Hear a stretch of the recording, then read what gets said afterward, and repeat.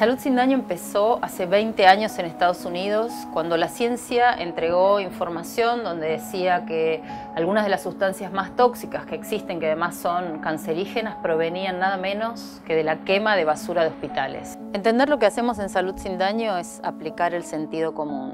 Es imposible tener gente sana en un planeta enfermo. Cuidar nuestra salud supone trabajar para que todos tengamos agua segura, aire no contaminado y alimentos saludables. Y así lo están entendiendo miles de personas que trabajan con nosotros apoyando esta misión.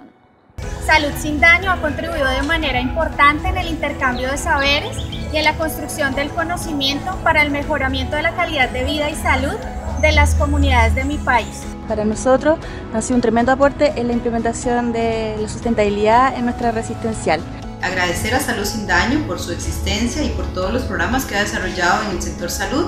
Nos ha ayudado a tener una conciencia distinta y a tener actividades todas en pro de la salud ambiental. El enorme aporte que hace Salud Sin Daño a la construcción de una sociedad más saludable y a prácticas más saludables del campo de la salud. Es un orgullo trabajar y que nos acompañen diariamente en nuestro trabajo con un soporte científico serio e internacional. Parabéns, Salud Sin Daño.